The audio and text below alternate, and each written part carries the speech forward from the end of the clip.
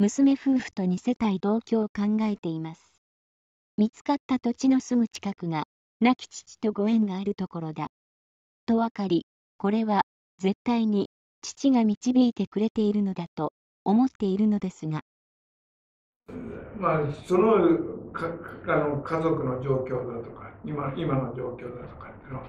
あのこうしなさいという形をつけるアドバイスはするのはあまりいいとは言えないと思う。なぜならばななその状況を例えば全部分かってる人だってこうしたらいいってことは言えない。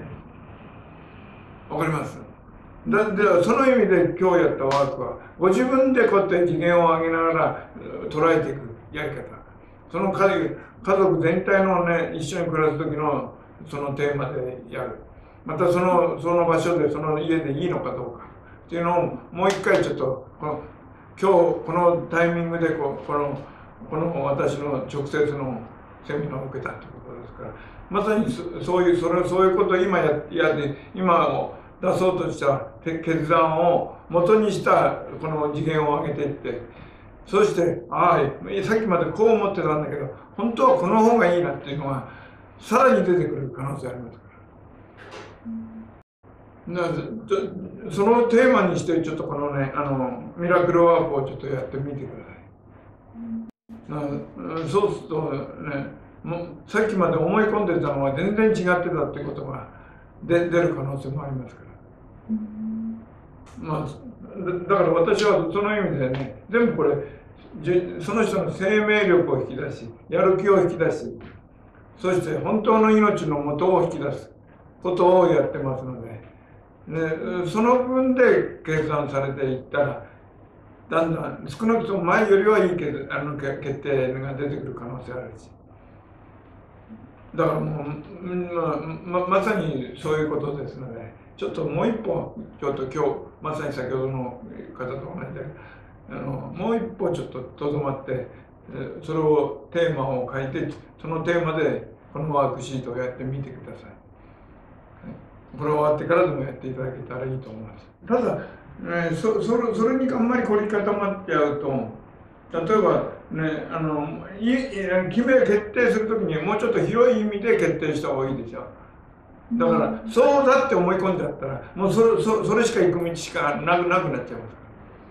す。確かに導いてる可能性はありますけど。でもそうだっていうふうにそれを一個の固定で思わない方がより広いいい決断ができると思います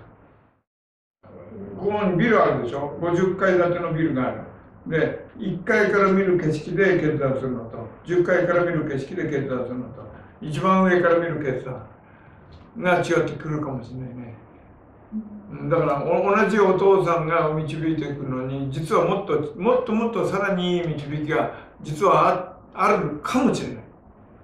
だからそれを知った上でそのたくさんの中からパチッと決断をされる方がいいんじゃないか。